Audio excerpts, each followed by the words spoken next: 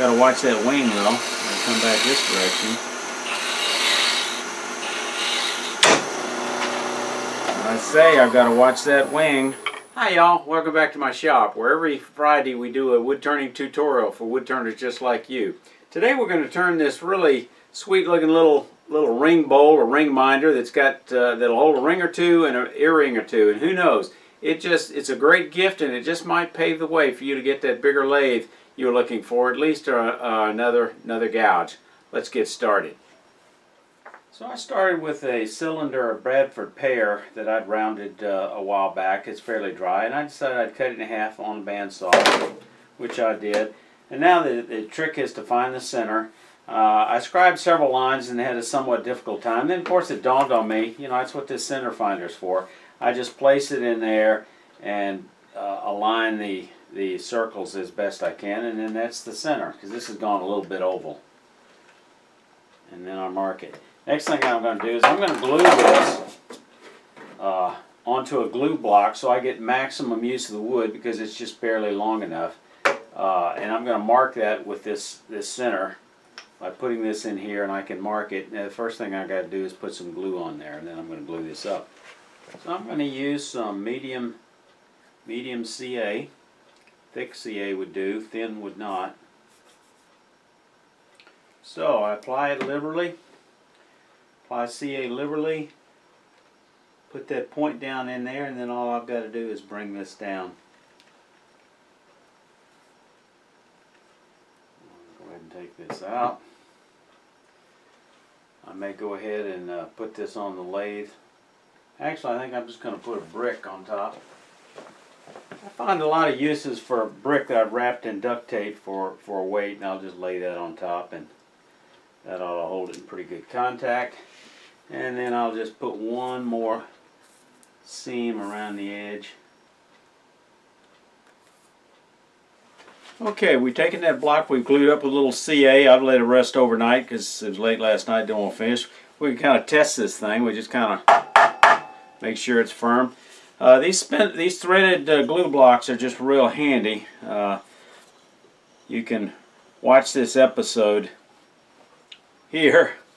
You can watch this episode I've got on the information icon on showing how I make these with a Beall tap. So I'm going to put it on there. I'm going to bring up tailstock support just because I can. And then of course first thing we're going to do, this thing has been quite a while since uh, this thing was turned. I don't, don't, remember how long, but I think the wood's fairly dry. So we're just going to uh, use a roughing gouge and just, just round it off just a little bit. Just true it up. Easy does it.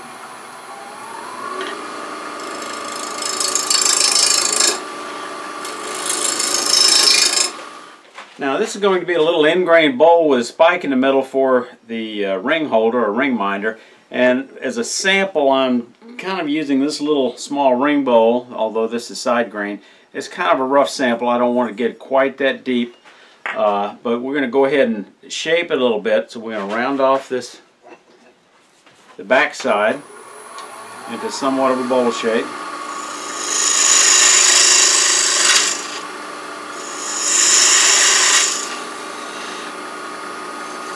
Now you can tell from the, the shavings, these little fine shavings that, you know, how, how sharp that tool is. If you get sawdust only, you know your tool needs sharpening. It may cut, but it's just not sharp. And we know the old saying, if it's almost sharp, it'll almost cut.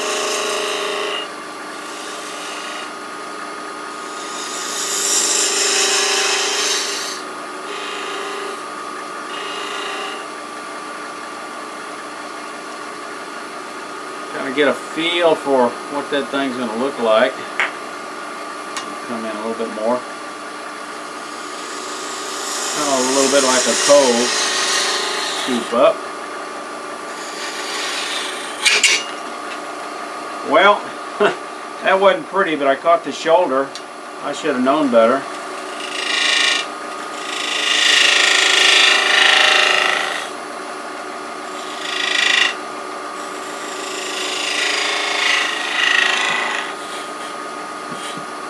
Don't ever catch the shoulder.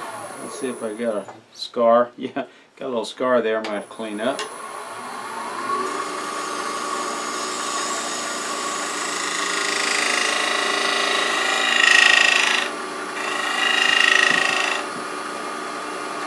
Okay.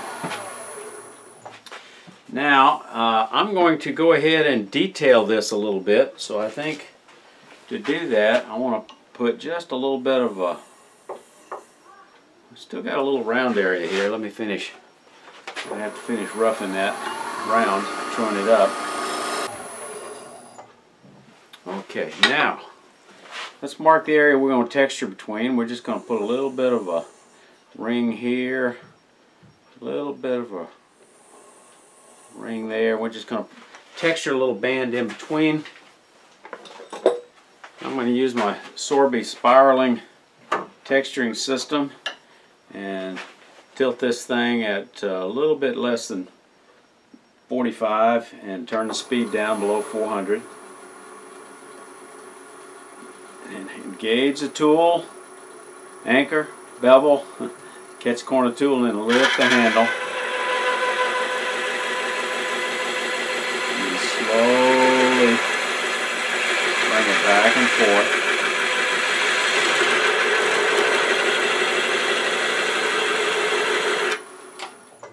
And we've got a nice little detailed spiral. And then I'm going to use my pyramid tool to put just a couple of little decorating V-rings here.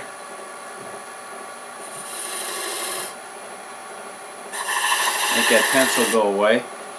And then I think to decorate that, we're going to go ahead and use a burn ring. We're going to use a burn wire so we'll get the speed up a little bit. Reach across, Drop the handle. Certainly don't wrap your fingers around it. You got to have a handle on each side. Dropping that handle gives a little lot of friction when it's got a little more surface. A little more hot wire surface. Okay. I like the shape. I, I like the decoration. Now we're going to start coming in here uh, with a parting tool uh, or skew. I think we can probably do some of this with a with a skew we're going to take this down quite a bit. We're going to come down right about right about here. And we're just going to peel this down. So, you know, skew will do that. Drop the handle at an angle and just take peeling cut. Not the whole width of the blade, just a little bit. Just bring it on down.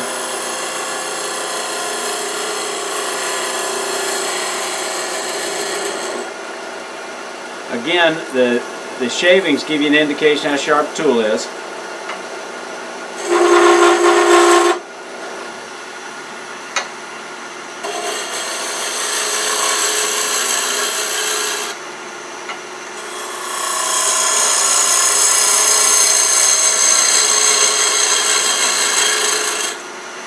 I showed you this uh, nifty beading and parting tool we made uh, a couple of weeks ago. I'm going to use that. That'll work just as well. Just drop the handle, Take a peeling cut.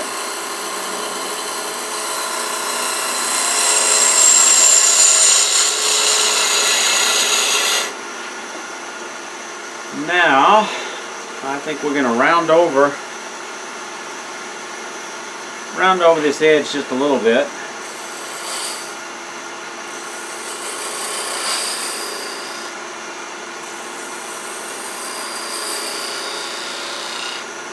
Alright, now here's going to be the challenge. This is going to be end grain. This is not a side grain bowl. The, run, the grain is running parallel with the bedway. Uh, normally, I, it's like hollowing a box. I'm going to have to think through this just a little bit. And I think first thing I want to do, this is going to be the spike. I'm going to shape this spike a little bit closer to where it's going to be. So we're going to come in here from the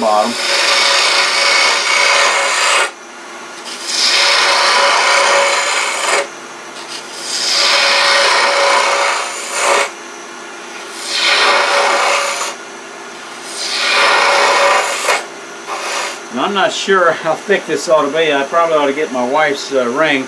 I'm just going to measure my, uh, I'm going to take my ring off and measure it. And then go just a bit smaller.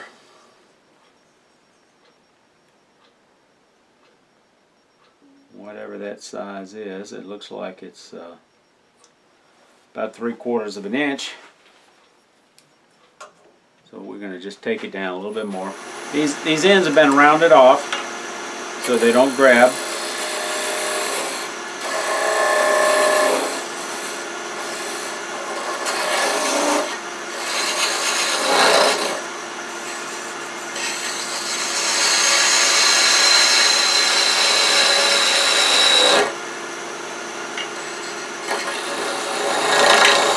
Now this I want to leave just a bit thicker. You'll see why shortly. Now, I'm going to use a uh, little 3 8 inch uh, bowl gouge with a very steep wing just to kind of start doing a concave here.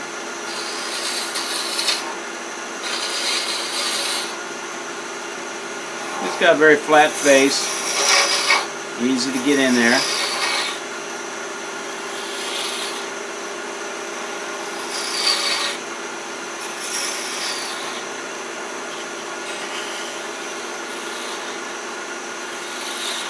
We'll come back to that. Now, here's the challenge is going to be coving this out. And normally I like to cut from the inside out, but I think that's going to be a challenge unless I reverse the lathe. Um, and I think it's going to be difficult to reach across there because of this to do that. So I'm just going to cut against the grain the wrong way. So I won't slice fibers as much as I'd like the tool rest a little bit so hopefully it's cutting on center and I'm just going to brace it with my finger and we're just going to ease it in with this detail gouge.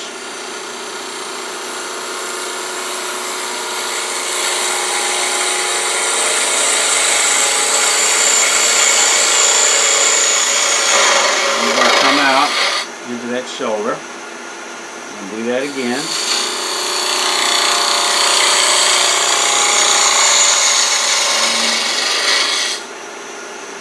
Now, because this is so steep, this is almost an example of doing a tiny little bowl with a 45 degree bevel and it won't work. So I'm going to use a little steeper grind with this bowl gouge and come in. I've got to watch that wing though. I come back this direction. I say I've got to watch that wing.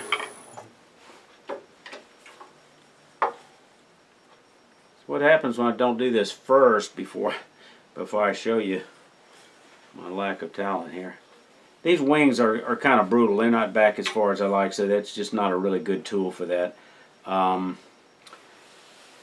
so I'm going to go back to a just a spindle gouge and just kind of come in with a point, almost doing a little scraping.